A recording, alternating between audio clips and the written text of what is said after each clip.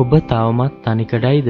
මෙන්න එකට ප්‍රධානම හේතු හතක්. හුදකලාව සිටියත් ඔබ සිටින්නේ සතුටින්. ඔබට හොඳ මිතුරන් පිරිසක් සිටිනවා. සැපේදී වගේම දුකේදී ඔබ ළඟින්ම සිටින හොඳ මිතුරන් පිරිසක් සිටිනවා නම් සහකරුවෙකුගේ හෝ සහකාරියකගේ අවශ්‍යතාවය ඔබට දැනෙන්නේ නැහැ. මිතුරන් සමග සමීපව සිටීමෙන් ඔබ අපමණ සතුටක් ලබනවා. නිදහස.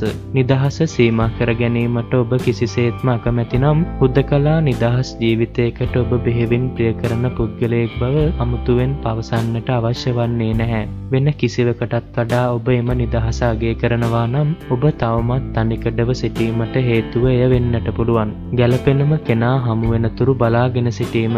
ඔබ ඔබට ගැලපෙනම පුද්ගලයා හමුවෙනතුරු හෝ ඔබේ සිතේ ඇඳී තිබෙන රූපය හමුවෙනතුරුම මග බලාගෙන සිටිනවා වෙන්න පුළුවන්. විවාහයට පෙර ආර්ථික තත්ත්වය ශක්තිමත් කර ගැනීමට වෙර දැරීම.